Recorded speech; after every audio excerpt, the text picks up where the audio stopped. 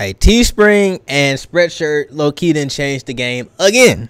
Seriously though, Teespring and Spreadshirt has made it easy for you guys to print t-shirts, get it shipped out, and do returns without even having to touch the t-shirt at all. All you have to do is just plug in the graphic. And where do you guys get the graphic?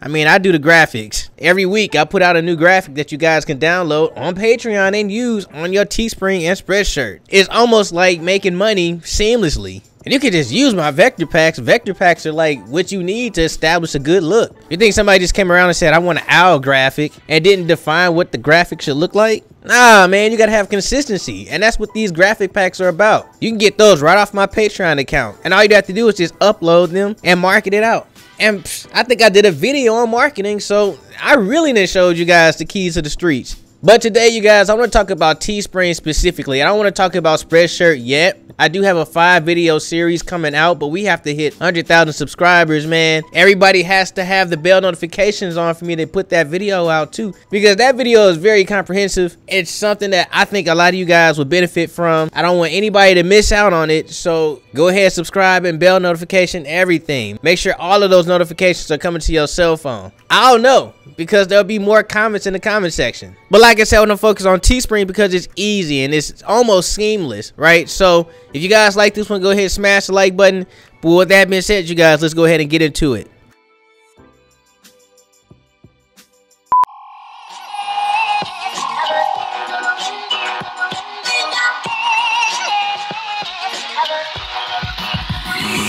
So one thing I gotta say is they brought back the all over print t-shirt, which was something that they had a long time ago. They brought that thing back and I'm ready to use it we're going to use that a little bit later on, but we got these other t-shirts that you guys might be greeted with that you don't understand yet. So we have this classic t-shirt, the comfort t-shirt premium, tri-blend, and this premium v-neck, which we all know came from Bella Canvas. Like that's 100% Bella Canvas, we know this. But these other t-shirts, what are they? Look, the classic t-shirt is their classic t-shirt. They got the Hanes and the Gildan shirt here. I like Hanes, you know what I'm saying? It's 100% cotton, regular fit, unisex t-shirt. I actually like Hanes. It's not heavy. It seemed to work out for the t-shirt that I made back in this video. I don't know, I still rock the shirt. The, the print quality is pretty cool. It did a good job of retaining itself without fading too much. You got the comfort tees which is a Hanes shirt, and then Bella Canvas. I would like to make this comment real quick. Supreme uses Hanes. And we all know how much Supreme charges. And as far as Bella Canvas go on here, I mean, it's the 3001s. They do have a limited variety of t-shirt colors that you guys can use. But you can also not choose Bella Canvas too at the end of all of this. I'll show you guys that. I do trust them a little bit more here on Teesprings than I do anywhere else. But you guys already know. Bella Canvas. You have the premium t-shirt, which is definitely not Bella Canvas is actually next level. And you have that tri-blend t-shirt, which is also next level, not Bella Canvas. And then you have this premium v-neck, which is Bella Canvas, nothing else. Now, in my opinion, I think the Comfort Tee is the best. So you guys can choose the Comfort Tee. If you want to use Bella Canvas 3001s, Comfort Tee is what you want, right? I like the classic and Comfort Tee, but it, we can use the Comfort Tee this time just for the sake of the video. So we're going to go ahead and click Start Designing you want to sell, if you have a profile with them, it's very easy to set up. I'm not going to go through that in this video at all, but maybe one day. So I'm going to hit sell. And this is basically the editor. So it's really not about you cutting up the images or anything like that, but you can lay them out and having a, an effective layout will have a very good outcome. I haven't done a video on layout in a while and I'm thinking about doing that. So if we get to 100 likes, I'll do that one. And definitely let me know in the comment section below if that's something that you want. I definitely did a video about setting your prices and they're preset right now. So the t-shirt was $14, I believe it was, $13, $14. I'm trying to make $15 in profit. That means I'm trying to get the price of the t-shirt plus $2, right? I'm gonna go ahead and change the product color. I think I want it to be maybe this color orange and this green. I love this green here. I really like this orange color right here. Like that looks amazing, but we're gonna mess with the green for right now. And then we want to add our image. Now, where do you guys get the image from? I've already said it. Go to my Patreon account. Now, if you guys are on my Patreon, all you have to do is hit t-shirt graphics. If you're a Kokeshi member, hit the Kokeshi pack. I'm gonna go ahead and go to the t-shirt graphics. And I just want to pick something out. Maybe maybe the snake logo with textile patterns. I made this video last video, right? So like I made this on screen, but I'm gonna go ahead and download this pattern. I've already exported everything out on it, so it's ready to go. All I have to do is just upload my designs. Now within that vector pack, there's already some pre-made illustrative designs, you know what I'm saying, that you guys can plug in to Teesprings already, right?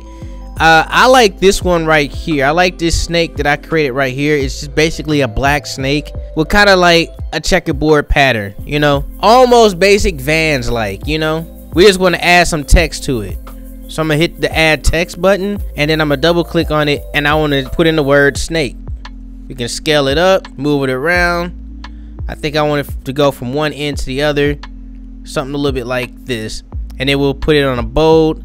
And I think I'll make it white. As a matter of fact, I want to delete the snake out. And then I want to put the snake back in so it can lay over the actual words. And I think that looks pretty good like this. If I change the color to orange, this is what we get. And I like it like this. Like, look at that. That's pretty solid. We can even make the words that much bigger and we get a very classic design. I think that looks really good. Almost Gucci like. Now that I got the price on it I got the design on it, all we have to do is hit continue. And this takes us to these different styles and stuff like that. Now, I only want to just use just the style that I have already. I don't even have to worry about anything else. All I have to do is hit continue. But you know what? Just to kind of like give it that Robert Loyale flair, you know, that that roughness that I usually have to it. I want to add like some Japanese text to it. So I'm gonna go ahead and type in this right here and then scale it up. Make sure it kind of fits in. Want to put it on a bold too and then make it white. But of course we got to delete the snake out and then put the snake back in. So I'm going to delete it out and then re-add it back in. And I think that looks pretty cool. So I'm gonna go ahead and hit continue as as you can see it kind of like mimics the design that I already had but I'm just gonna go ahead and continue with this we'll call it snake bitten so the description part of this is something that you guys want to focus heavily on right it tells you to tell a story that's what I like to do I like to attach a narrative to this, right? Now, to me, when I look at this, it says snake and it has the Japanese word for snake and it says bitten, right? if since it has Japanese text in it, I want to attach a folklore to it. So the Tsuchinoko is a Japanese snake, kind of like I think it's like two centimeters long or something like that. It's really small and it is known for being able to talk to you, but it's gonna lie to you, right?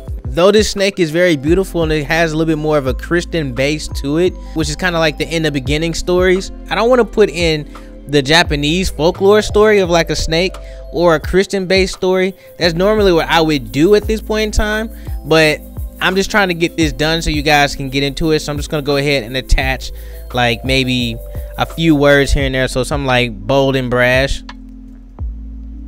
full of power, and then I'll put like the specs on the shirt and stuff like that in here. So something like this, and then we'll put like the wash care instructions and stuff like that on there.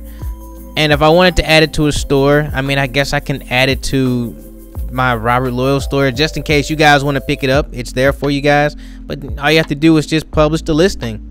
So Teespring took out my Japanese text, which is okay because I guess really their computers would mess up if they just saw that text and they didn't have it already saved into their like computer systems. So they took it out, but that's okay. It looks good like this. But that's technically it though. So if you guys like this one, go ahead and smash the like button. Hope you guys can pick up my vector pack on my Patreon account. It's there. You can use all of my designs in your shops. And when I think about stuff that's just pre-made and just ready to go, why wouldn't you? It's almost like getting free money. And because I've already taught you guys how to market, this is technically all you'd have to do is just put your product out there and market it. Or let me say it like this, find you a product and then sell it. That's just pretty cutthroat to me, but I don't know. It's up to you guys. But with that being said, you guys have to get up out of here. So, stay amazing, stay creative, above all else, stay awesome.